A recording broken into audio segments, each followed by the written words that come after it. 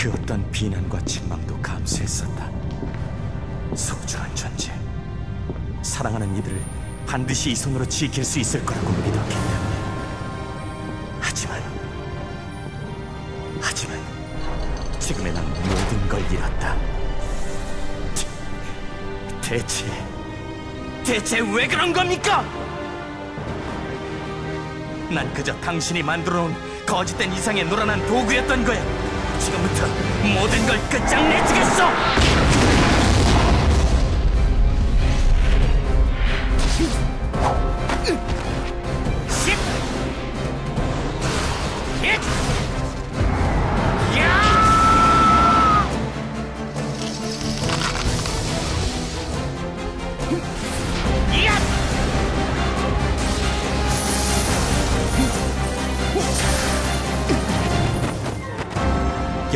한계인가?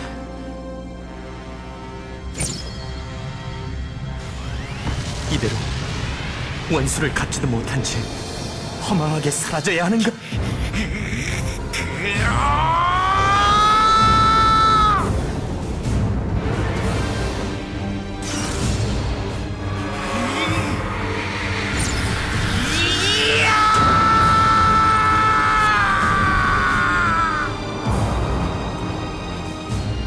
만약, 만약 내게 한 번만 더 기회가 주어진다면